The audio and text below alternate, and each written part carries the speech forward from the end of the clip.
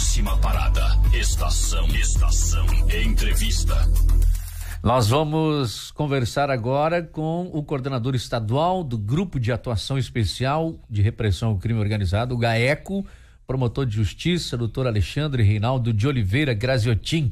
Agradecer a sua assessoria Silvia e a nossa a produção, a Morgana Fernandes, né, que coloca essa pessoa também não, não menos importante que todos que estão lutando contra a corrupção e estes supostos desvios, estas supostas irregularidades na compra desses 200 respiradores e outras coisas mais. Doutor Alexandre, boa tarde. Obrigado por nos atender. É, boa tarde, Adilson. Boa tarde aos ouvintes da Rádio Menina. O que, que dá para falar para o nosso ouvinte da Menina FM de Balneário Camboriú, do litoral? Eu sei que o senhor conversou ontem, também estava acompanhando com o Luiz Carlos Tigrão no canal 100, mas a gente temos três programas de jornalismo forte aqui, o de manhã, meio-dia e o canal 100 também, para que todos os ouvintes saibam que o GAECO também está investigando e o que já dá para ser anunciado aí em relação às investigações. Então, Adilson, é, primeiro re registrar né, que essa investigação está sendo efetuada pelo GAECO, em conjunto com a DEIC e em conjunto com promotores da assessores do Procurador-Geral de Justiça. É, essa investigação é, teve início há pouco tempo, em função da reportagem é, do, da revista Intercept, pelo menos no âmbito do Ministério Público, e e rapidamente tivemos que avançar em função do, do, dos fatos já estarem sendo noticiados. É, o que se apurou até o momento é efetivamente que equipamentos foram comprados com sobrepreço, é, há uma expectativa de entrega de equipamentos que não são os que foram é, correspondentes ao que foram vendidos e um lucro exorbitante e nós estamos avaliando se houve lavagem de dinheiro e se houve a participação de agentes públicos eh, no recebimento de valores indevidos.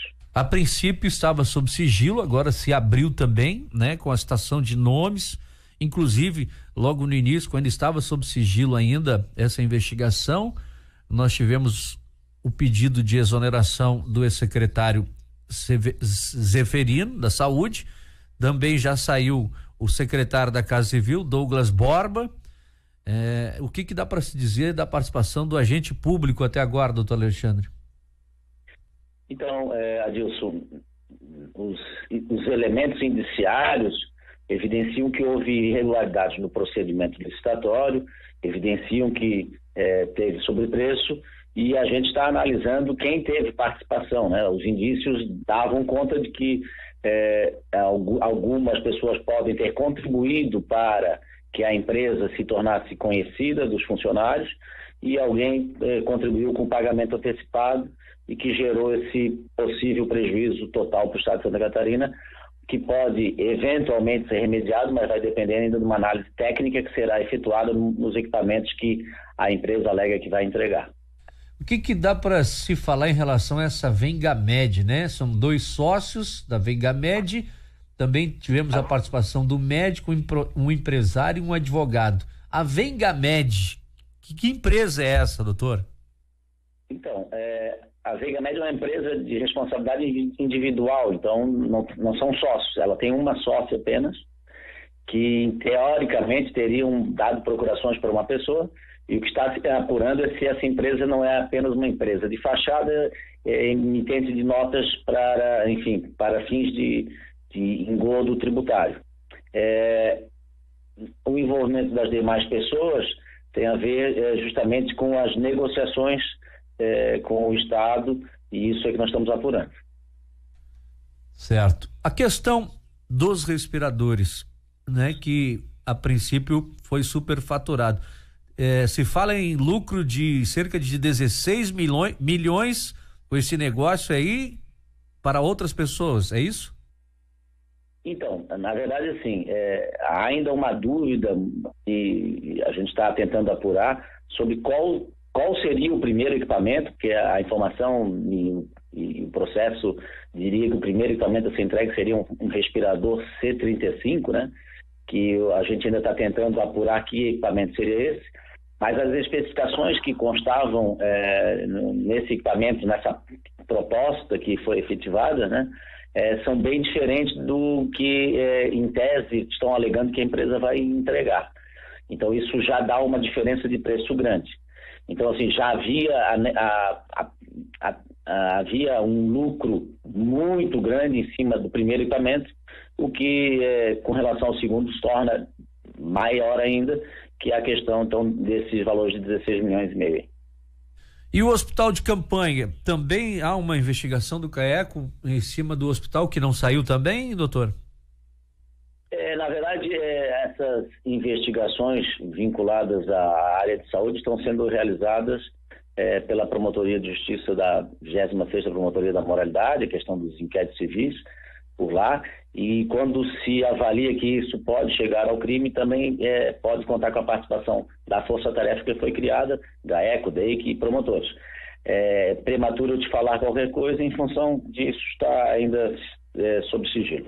Agora também foi anunciado, né, através do prefeito Jean da cidade de Florianópolis, também a desistência em relação à empresa do Meu Vale, responsável por fornecer o cartão pré-pago de vale alimentação para os alunos do ensino municipal e autônomos durante essa pandemia, né? Tem, então tudo relacionado à pandemia tem que ficar de ficar muito atento. Infelizmente a gente tem que estar tá noticiando, vocês têm que estar investigando uma situação de caos na saúde que é do mundo inteiro, mas a gente se atém aqui o nosso estado também, em que algumas pessoas acabam querendo direcionar para outro lado, né? É, porque Exatamente. Nesse momento, é, a, a, questão do mercado, a, a, necessidade de que esses equipamentos sejam adquiridos por todos os países, por todos os estados, faz com que, obviamente, o, a, a, demanda exija um preço maior, né? É, mas as pessoas estão querendo ganhar em cima da, da desgraça, ganhar em cima de um momento tão triste para a sociedade mundial, no caso. Doutor Uh, Alexandre, onde está os 30, 33 milhões? É, isso, é, digamos assim, parte disso foi apreendido, está em, em, bloqueado, 11 milhões e alguma coisa, é, em função do uso da empresa desses valores para adquirir outras, outras situações e possivelmente enganar outros órgãos públicos, né? Mas os outros 22 milhões é o que nós estamos analisando, se vai ser entregue alguma coisa, vai ter, então é, tem que avaliar os custos do que foi que vai ser entregue, para a gente avaliar depois se é, o prejuízo foi nessa casa de 22 milhões ou se vai ser um pouco reduzido. Com o material apreendido, as investigações feitas, obviamente abertura de inquérito e tudo mais, alguém pode ser preso? Alguém vai ser preso?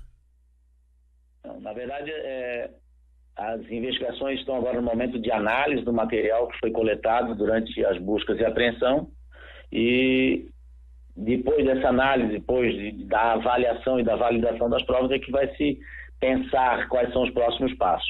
Dizer que pode haver prisões, eu acho que é, é prematuro falar, é, mas enfim, a, a, o que buscamos é o, é o, elemento da verdade da prova para é, conseguirmos entrar e ajuizar a ação penal é, correspondente.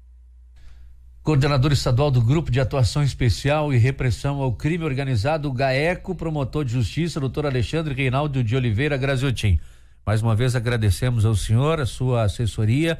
Parabéns pelo trabalho do, de toda a equipe aí, de todos os envolvidos, policiais, enfim, e que venha à tona, que se esclareça tudo, que é isso que a comunidade merece, saber a verdade do que aconteceu e que se houver os culpados que sejam punidos perante a lei.